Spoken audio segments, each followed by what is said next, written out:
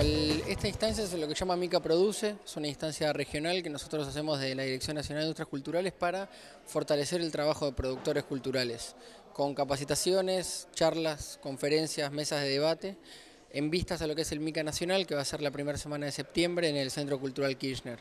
Así que nosotros lo que venimos haciendo hace cuatro años es recorrer el país, identificar necesidades y herramientas que podemos brindarle a los productores culturales para fortalecerlos en su trabajo, que puedan vivir de lo que hacen, de lo que les gusta hacer. Y bueno, eso es lo que nos toca la instancia centro, que es Entre Ríos, Córdoba y, y Santa Fe.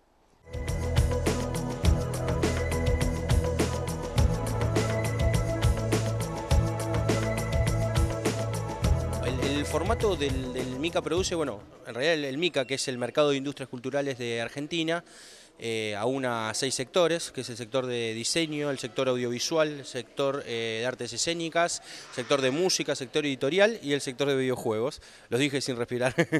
Esos sectores eh, lo que hacemos es trabajar con pequeños emprendedores de cada sector y tratar de darles herramientas para eh, que se potencien, digamos, como industria.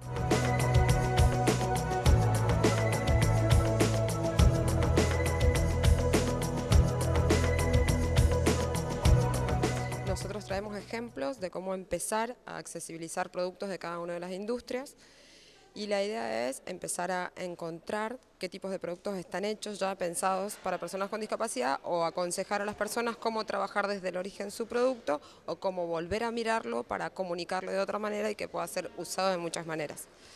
La idea es encontrar la mayor cantidad de, productores para también abrir al mercado de los compradores de esta nueva disciplina que es accesibilidad. Nuestro país es un país eh, de una gran escuela editora, con mucho empuje editorial, con mucha creatividad, con mucha gente que escribe, pero también con mucha gente que quiere editar, que quiere practicar el buen arte de la edición y hacernos llegar buenos libros a los lectores argentinos a través de las librerías o a través de cualquier otro mecanismo que sea válido para ellos.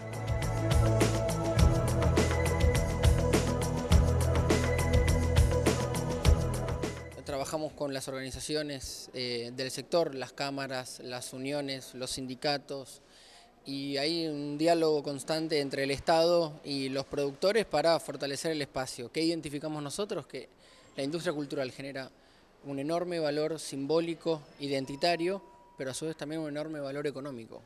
Es el 3% del Producto Bruto Interno, genera medio millón de puestos de trabajo.